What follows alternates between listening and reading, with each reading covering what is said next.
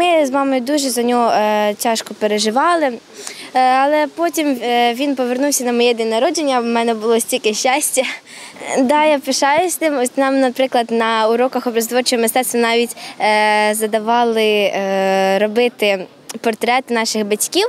Я е, зробила портрет тата і написала мій батько, мій герой. Ну я ним пишаюсь, тому що він мене дуже хоробрий, сильний і мужній. У захваті з гордістю розповідає Єлизавета про свого тата. Для неї він герой, адже воював за цілісність України на сході. Дівчинка знає, як це чекати батька. Ася давно мріяла стати журналістом. Зараз має нагоду спробувати себе і в ролі кореспондента.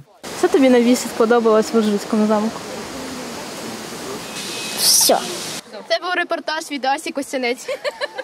Власне, ці діти, діти героїв нашого часу, приїхали відпочивати на Закарпаття. 40 чоловік, 40 діток, дітки різновозрастні, від 7 років до 15.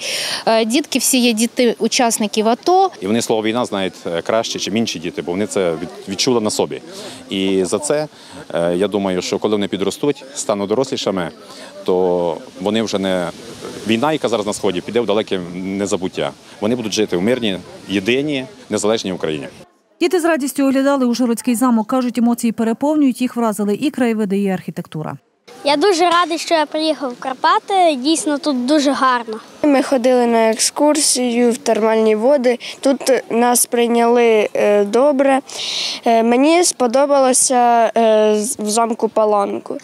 Закарпаття це все таке якби чудове, якесь загадкове місце, гори, ліси, воно якось це так заворажує і дуже цікаво.